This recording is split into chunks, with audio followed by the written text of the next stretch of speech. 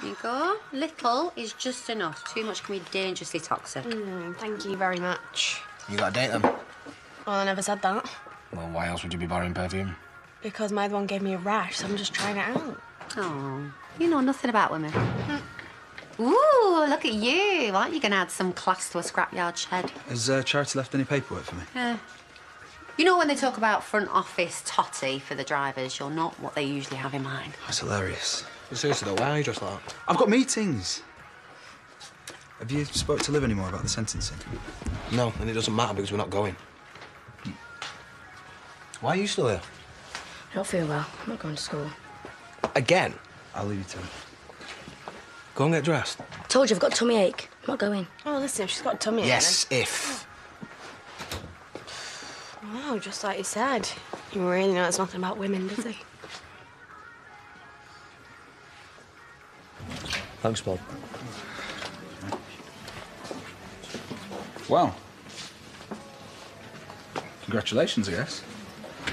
Thanks, I guess. Actually, um, seeing as you're here, you can tell me what I should do with this. For Aaron, off his dad. Uh, sorry, I don't follow. My pass crossed inside. I knew that I was local. Although I'm not sure how I feel about running messages for sex offenders. So you're gonna give it to him?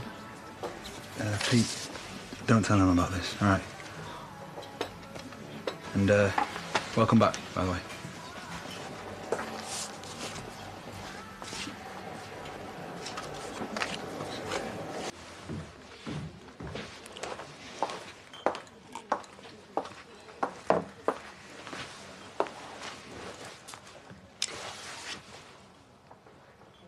You know the other day? Every day's the other day. Unless it's this one. All right then. The day you were trying to nick something from my room. Yeah, I wasn't stealing. I told you. I think I have an idea of what you might have been looking for.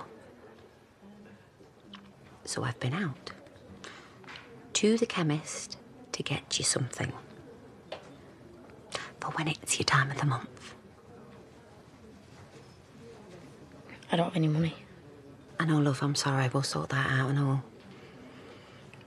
Hey, I was 14 too. It was a Friday night when it first happened to me, and you know how I can remember? I reckon it's the only time I've left a party without getting chucked out. Come here, you.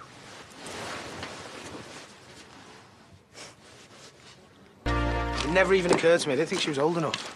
What, didn't you learn about this in school? I'll give you some money. Hey, pretty sure there's a book we can get him on how it all works. It's my fault and all. I should never have left it all down to you. She needs a woman. yeah, don't we all? Oh, I'm sorry, mate. Didn't see you there.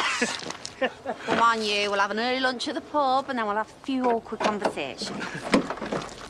hey, have fun, mate.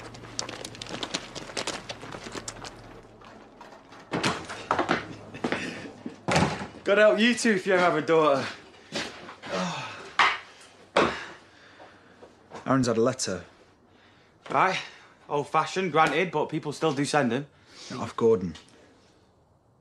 Pete gave it to me. I don't know what to do with it. Says he can't cope with everything being left how it is. What does it mean can't cope? He's trying to guilt him, isn't he? That's how he operates. If Aaron doesn't come see him, if Aaron doesn't forgive him, if Aaron doesn't do as he's told, Right, so where's the letter now? it's at home. Okay, well, you're gonna have to hand it over. Whoa, whoa, whoa, don't give me that. All right, what if he finds out later down the line that his dad reached out to him? Tried to say sorry. You can't say sorry for stuff like that. If Aaron reads it, it's going to mess him up again. He doesn't have to read it. Well, he's not going to be able to help himself if it's there in front of him. Robert, just give it to him. Let him decide that, yeah?